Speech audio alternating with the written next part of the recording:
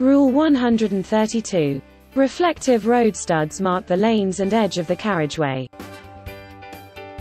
Red studs. Motorway studs are placed along the hard shoulder of both motorways and dual carriageways. They can also be seen on the left of certain A or busy B roads. White studs. Motorway studs are placed between the lanes of dual carriageways or motorways.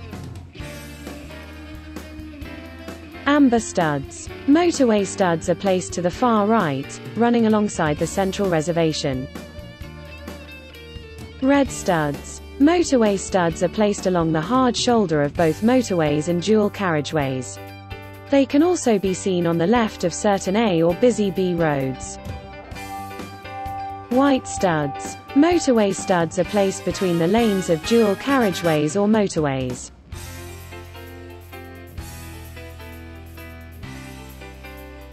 Amber studs. Motorway studs are placed to the far right, running alongside the central reservation.